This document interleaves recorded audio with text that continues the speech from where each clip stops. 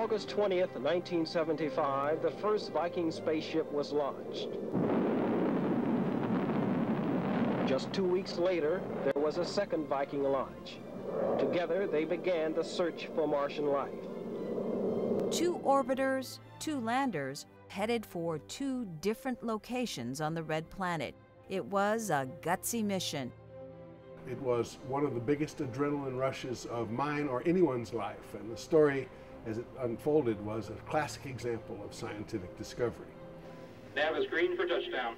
ACS is green, 1.5 degrees per second max, 0.2 Gs. 8 feet per second. Touchdown, we have touchdown. We didn't know then what we know now, which is how tough it really is to land on Mars. 1250. That is 35 minutes from now, the playback of pictures will start, as I understand it. A moment in every Viking's life that he or she will never forget, sitting with that television right in front of them and watching as the first lines came down. It came down line by line by line. By the time we could see five or six lines, we could actually start seeing the outline of a rock. And you had saw one section, and two sections, and three sections, and you started seeing the surface of Mars, and then you knew we had done it. There's no way to describe it. We were lifted up. It was, everybody kept walking around. This photograph will be in the books a thousand years from now. Viking gave us the first view of Mars as if we were standing on the surface.